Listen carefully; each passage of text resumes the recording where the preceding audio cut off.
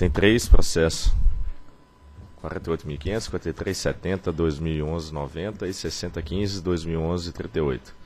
Resultado da audiência pública número 16 de 2012, instituída com vistas a colher subsídios e informações para aprimoramento das propostas referentes à terceira revisão tarifária periódica da Companhia Campo Larguense de Energia, a vigorar a partir de 24 de junho de 2012, e a definição dos correspondentes limites dos indicadores DEC e FEC para o período de 2013 a 2016.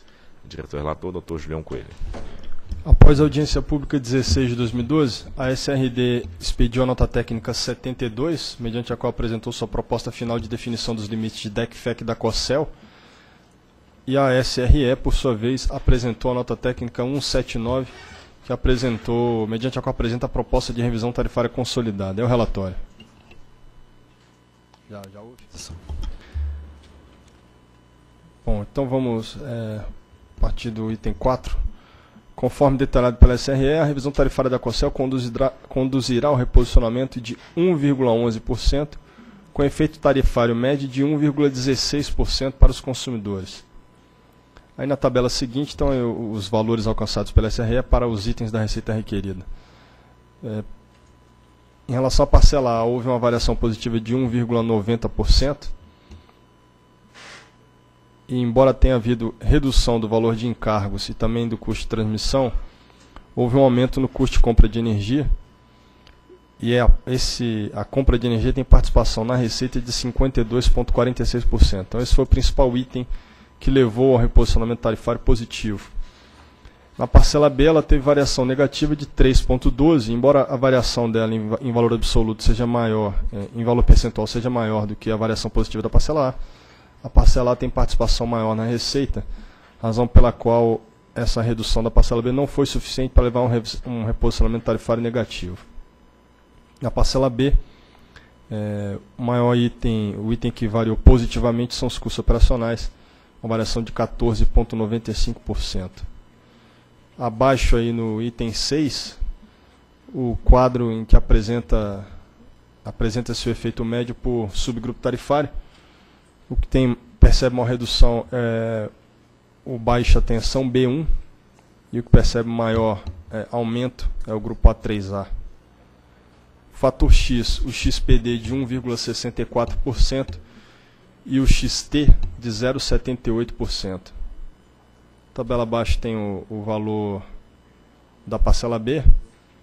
Não houve ajuste em função de investimentos realizados. A empresa realizou todos os investimentos a que se propôs no segundo ciclo. Tem apenas o ajuste da parcela B, aquele fator PM que a gente faz para refletir a produtividade que vai ser verificada nos 12 meses subsequentes à revisão.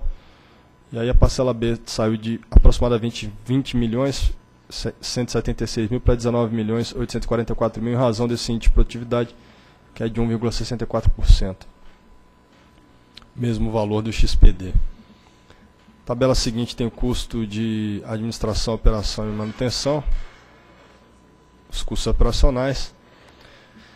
É, aqui as duas etapas do de encontro dos custos operacionais. Primeiro só a, a, atualização desses valores e depois a análise de benchmarking que é feita na segunda etapa.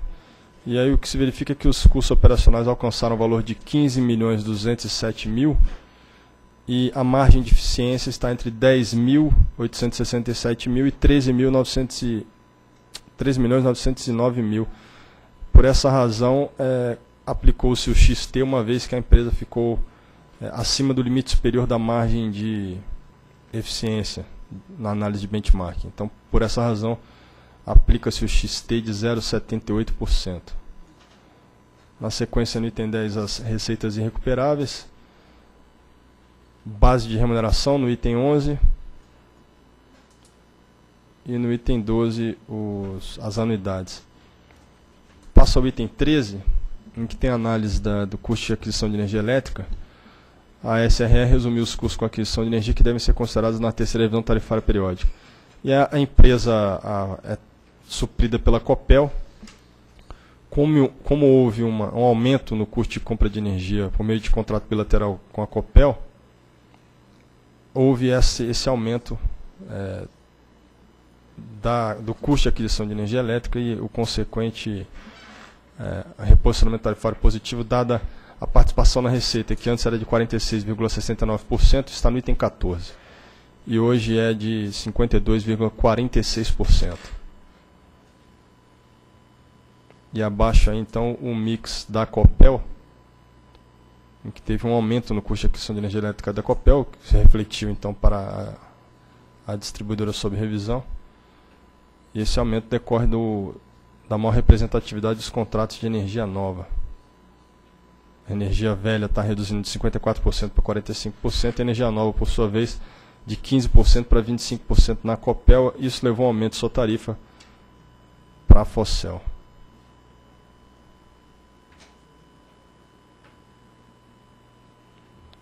Agora aqui eu tô. É, para Fossel não, para Cossel, né? Bom, na sequência no item 16, os custos com conexão e o sistema de transmissão e distribuição, encargos e tributos, outras receitas, receita verificada. Eu vou direto para componentes financeiros, lá no item 20. E aí no item 21 tem uma observação, que, salvo engano, foi discutida no caso, no primeiro caso da pauta, relator Dr. Romeu. A propósito dos ajudos financeiros suprida, supridora, indicados na tabela acima, ressaltou a SRE que tais valores correspondem à quitação pela COCEL de 25% de passivo referente à TUSD e à tarifa de energia elétrica, passivo esse gerado pela aplicação retroativa da Resolução Normativa 243 de 2006, que definiu uma nova metodologia de cálculo dessas tarifas. E aí tem a explicação da, da SRE, e eu destaco só o, o final em que a SRE consigna que gerou-se um passivo financeiro que, na maioria dos casos, foi desfavorável às supridas, como é o caso da COCEL, com impacto demasiadamente elevado em suas tarifas finais. Dessa forma, decidiu-se por diferir até mesmo adiar a sua aplicação nas tarifas das concessionárias supridas. Em relação aos limites de DEC e FEC, está sendo mantida a proposta da, que foi submetida à audiência pública. São somente dois conjuntos, Campo Largo e Distrito Industrial e abaixo no item 25 está a proposta de DEC FEC para o período de 2013 a 2016. Campo Largo sai de 11 no DEC para 9 horas, Distrito Industrial sai de 13 para 10. O FEC da Campo Largo sai de 9 para 7 horas, Distrito Industrial sai de, 7, de 10 para 8. E na figura abaixo estão os histogramas. E eles mostram a barra em azul, aí no primeiro histograma, mostra os limites de deck de cada um dos grupos em azul e os limites é, em 2012 em azul e para 2016 em vermelho. O que se percebe é que há uma, um movimento das barras no sentido de redução do limite do deck, o mesmo acontecendo com o FEC.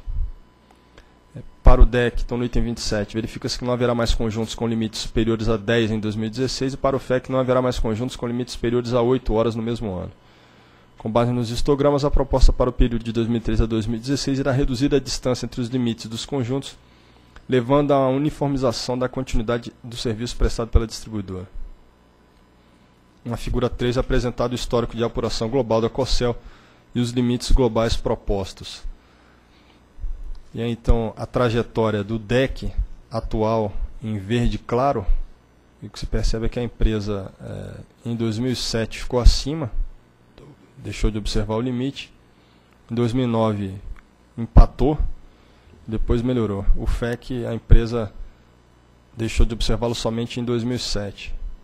E à direita da tabela estão os novos limites, tanto de DEC quanto de FEC. Aí o DEC saindo de 12 para 9.61, o FEC de 9 para 7.61 em relação aos limites propostos para o período 2013 a 2016, pretende promover a redução geométrica, média geométrica anual de 6,97% no DEC e 5,67% no FEC.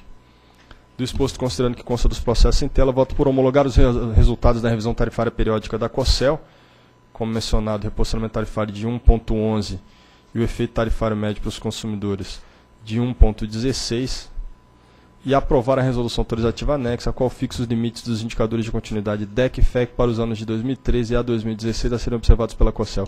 Aqui depois eu faço o acréscimo, senhor diretor, no, no dispositivo. É, em vez de simplesmente homologar, eu faço o acréscimo para indicar qual de fato é o reposicionamento tarifário qual é o efeito médio, a semelhança do que fez o doutor Edvaldo no voto da COPEL. Eu voto. Ok, em discussão. Minha sugestão era só acrescentar mesmo isso aí, que é bom, porque na hora que publica a pessoa já tem uma visão de que dá o resultado. A resolução vai, né? É, mas o, aí no dispositivo faltou. É importante, eu vou fazer o acréscimo no dispositivo. A resolução vai uma tabelinha difícil de entender. É, é verdade. Ok, um ponto de dúvida. Tem votação? Voto com o relator. Também voto com o relator. Também voto com o relator. Dec- Decidiu então homologar os resultados da terceira revisão tarifária periódica da COCEL, né, que dá no caso, valores 1.11 e 1.16 no efeito, né? É isso, né, o doutor Julião. E aprovar a resolução autorizativa que fixa os limites de indicadores de continuidade DEC e FEC para os, os anos de 2013 e 2016 a serem observados pela COCEL.